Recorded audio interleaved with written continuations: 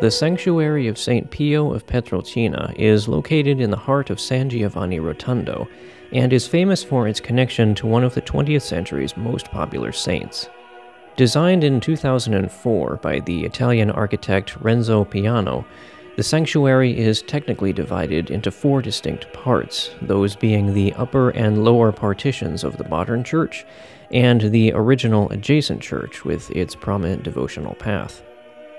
Construction on the modern church began shortly after the canonization of St. Pio in 2002, with the intention of providing space for the nearly 7 million pilgrims who visit the sanctuary each year.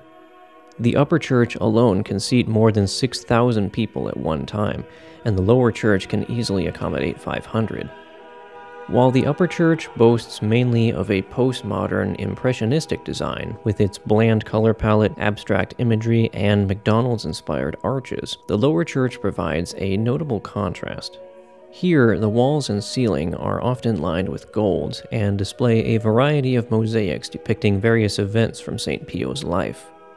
In general, the stylization of these mosaics is reminiscent of Byzantine artwork, albeit with a modern interpretation.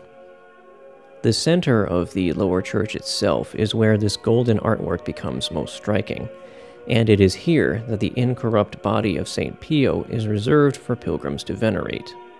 Of the many documented cases of miraculous preservation after death, Padre Pio's case is one of the most convincing.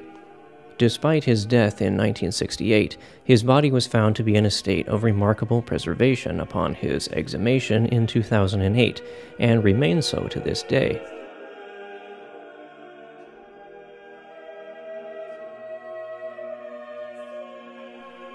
Upon exiting the lower church, you can slowly make your way across the massive courtyard to reach the original church of Santa Maria delle Grazie, perhaps even stopping for a moment to admire the unique horizontal bell tower associated with the modern church, as well as the many olive trees apparently intended to spring out of the concrete itself. The original church technically consists of three sections, with the oldest having been constructed in 1676, along with the Capuchin Friary. The newest section was inaugurated in 1959 when it became necessary to accommodate the growing number of people wishing to attend St. Pio's Masses or to receive guidance from him. Architecturally, the design is fairly typical for churches of that era, with its most notable aspects being a large statue of Our Lady with the Christ child, as well as the many side altars containing mosaics which depict a variety of saints. The most unique of these mosaics is arguably one featuring an image of the Archangel Michael. A nearby staircase will connect you into the Capuchin Friary, a sizable portion of which has been converted into a museum containing many artifacts related to St. Pio and his life.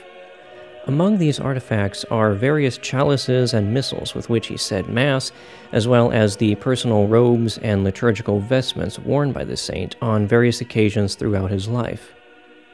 In some displays, you can even find such things as medical equipment, wheelchairs, and crutches, all of which were sent to Padre Pio at various points as tokens of gratitude and as proof of miraculous healings wrought by his intercession.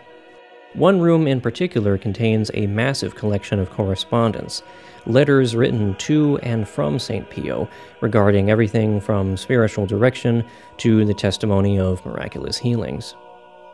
At the end of the museum, you can find one of the original cells in which Padre Pio lived and worked. Almost everything he owned, from a pair of shoes to writing utensils to the oxygen tank used at the end of his life, is preserved here. It's a sobering thought to think that many of his famous encounters with angels and demons likely took place in this room. Exiting the museum will bring you to the start of San Giovanni's famous devotional path dedicated to the Stations of the Cross.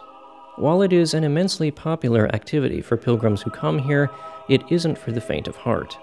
The path requires you to climb nearly a hundred steps to reach the first station before winding its way up the mountain in a series of switchbacks. You can often find entire groups of pilgrims pausing to pray at these stations before continuing their ascent. About 20 minutes of consistent walking will bring you to the top of the path, where you will find an image of the resurrection overlooking the village below, as well as the 500 steps leading directly back to it. It's a good place to gain some perspective as you reflect on the significance that this one simple friar had on the church in the 20th century and beyond. If sacrifice is the measure of significance, then there are few who can measure up to St. Pio of Pietrelcina.